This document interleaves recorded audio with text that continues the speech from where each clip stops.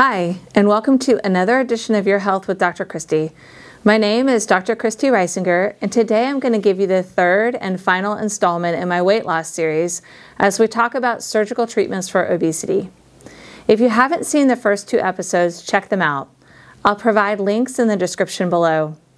Episode 1 was about diet and behavioral changes to lose weight.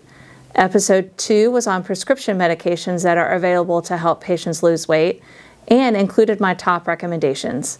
And today we will delve into surgical management of obesity. In order to be a candidate for bariatric surgery, you need to have a BMI greater than 40 or a BMI between 35 and 39, but have an obesity related medical issue such as diabetes or hypertension. Bariatric surgery is the most effective method of weight loss. A retrospective study of over 65,000 patients published in the Annals of Internal Medicine in December 2018 found that at one year, patients that had gotten a Roux-en-Y gastric bypass had lost 31% of their body weight on average, and those that had gotten a gastric sleeve had lost about 25% of their total weight. And it seems as though surgery is the most effective way to keep the weight off as well. This same study gave data about these patients' weight loss at five years and found that those that had gotten a Roux-en-Y gastric bypass, the total weight loss was 26%, and those with a gastric sleeve were at about 20% of total weight loss. A study of patients with obesity in Sweden studied the even longer term effects of bariatric surgery. They found that after 20 years, the mean total weight loss was 26% after Roux-en-Y gastric bypass, and only 1% with non surgical management. And most patients do typically regain 5 to 10% of their body weight back in the first 10 years after surgery. 98% of bariatric surgeries done today are performed laparoscopically, which means small incisions are made in several sites in the abdomen and cameras are inserted. This allows for smaller incisions to be made and a faster healing time. There are four common bariatric surgeries. The first is the Roux-en-Y gastric bypass. Second is the gastric sleeve. Third is the gastric band, and a fourth option is an intragastric balloon. Of these four, the two with the best data and long-term results is the Roux-en-Y gastric bypass and the gastric sleeve. The gastric band is becoming increasingly less common, and in 2019 only accounted for 0.9% of bariatric surgeries. The reason for that is that it caused less weight loss, often needed to be revised, and patients often gained the weight back. And the intragastric balloon, most commonly called the Orbera intragastric balloon, has similar issues with weight regain. But the intragastric balloon is often used as a bridge to surgery like a Roux-en-Y gastric bypass or the gastric sleeve. So between the Roux-en-Y gastric bypass and the gastric sleeve, is there one that's better?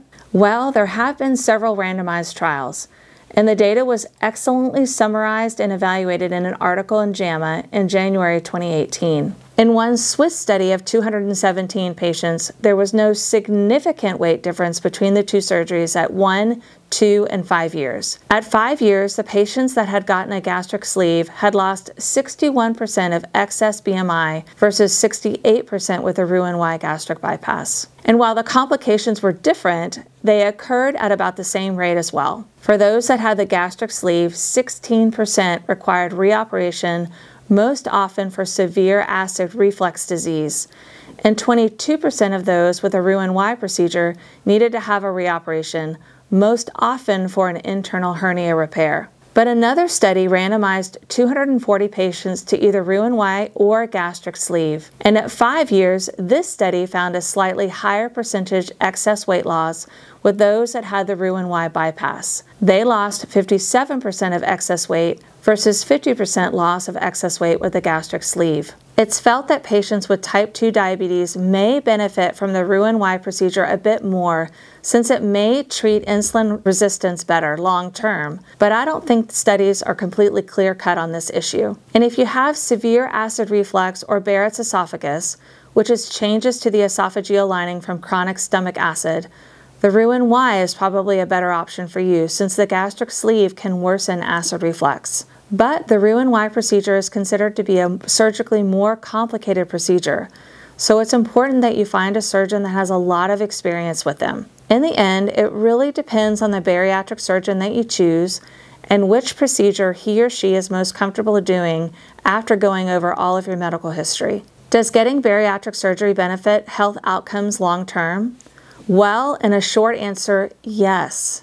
An Israeli retrospective study found that bariatric surgery in general was associated with lower mortality after a follow up of four and a half years compared to usual care. While another study published in July 2020 looked at 18 studies that included over 1.5 million patients. They found that patients that had bariatric surgery had a 28% lower risk of death, 50% lower risk of cardiovascular death, 61% lower risk of type 2 diabetes, 64% lower risk of hypertension, 67% lower risk of elevated cholesterol, and 54% lower risk of ischemic heart disease than obese patients that did not have bariatric surgery.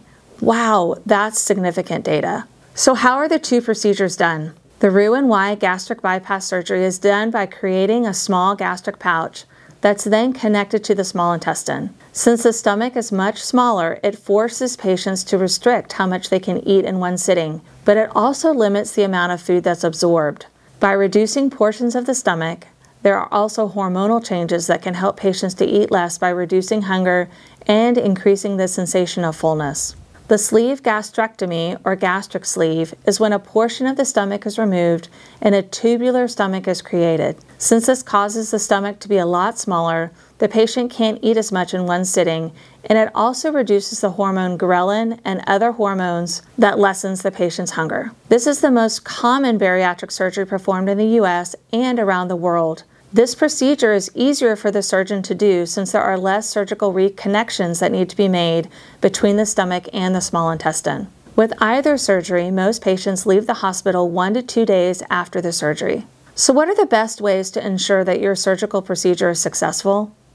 Number one, remember that this is a surgical procedure and has all of the potential complications surrounding any surgery, such as bleeding, infection, and death. The best advice I can give someone is to choose a knowledgeable and experienced surgery at a bariatric surgery center with the MBSA QIP seal of approval. This stands for Metabolic and Bariatric Surgery Accreditation and Quality Improvement Program. Number two, remember that the ability to absorb certain nutrients will be different after your surgery and it's incredibly important to have ongoing follow ups with a physician that can follow vitamin levels like B12 and vitamin D. Your surgeon or physician should recommend which oral vitamins you should be taking depending on the type of surgery that was performed.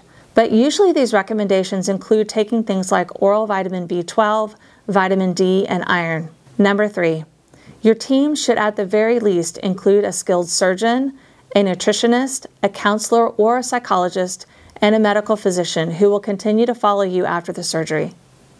Number four, you should have meetings with a registered dietitian and counselor or psychologist about your unhealthy relationship with food and delve into any other addictions that you may have. An increase in alcohol and drug abuse has been seen after bariatric surgery, likely because patients are replacing one addiction for another. At the root of any addiction is trauma, pain, and unhealthy coping mechanisms.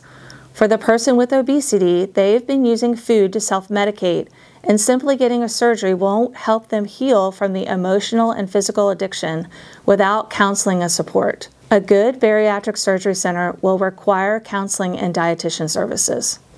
At the end of the day, I want each of you to have the ability to live your life to its fullest, and you must have good health to do this. If you're limited by your weight and have tried diets, exercise, and medication, I encourage you to seek out a bariatric surgery center and start exploring surgical options. Thanks for joining me.